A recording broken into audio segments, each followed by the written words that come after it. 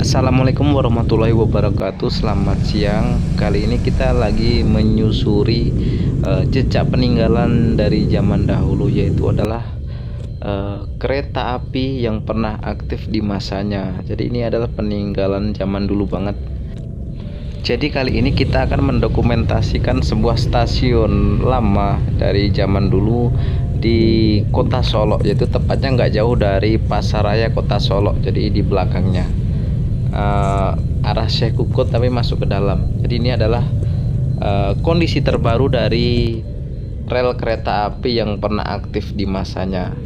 Kita akan jalan-jalan, kita akan lihat coba lihat ke kereta api apakah masih utuh atau bagaimana. Jadi yang tampak di sini rel-relnya masih terjaga dengan baik sekali, gak ada yang hilang, masih dalam keadaan utuh dan kita akan coba uh, melihat dan uh, memvideokan uh, keretanya yang ada di sebelah sana. Jadi ini untuk dokumentasi saja. Inilah jejak-jejak peninggalan dari zaman dahulu yang masih ada sampai sekarang. Rel kereta api di kota Solo. Jadi rel ini membentang dari uh, mungkin dari Padang ya jadi melewati tepian Danau Singkara dan ujungnya masuk ke kota Solo. Jadi nggak jauh dari pasaraya kota Solo. Rel kereta api ini sudah nggak aktif lagi. Jadi ini udah besi-besi tua ini banyak sekali di sini. Ada beberapa jalur di uh, stasiun kereta api di Solo ini.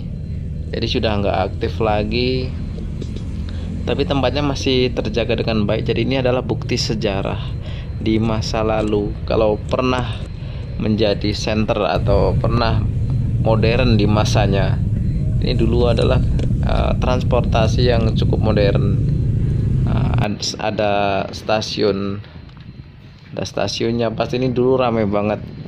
Inilah rupa stasiun kota Solo yang sekarang jadi ini aku dokumentasikan tahun 2019 ya.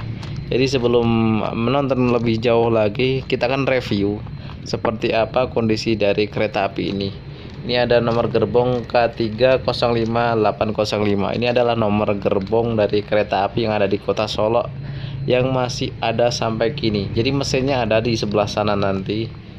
Ini adalah kondisi badan dari rel uh, dari kereta apinya Nah, jangan lupa untuk menonton lebih lanjut, jangan lupa di support ya channel ini. Jangan lupa di subscribe, like, dan komen.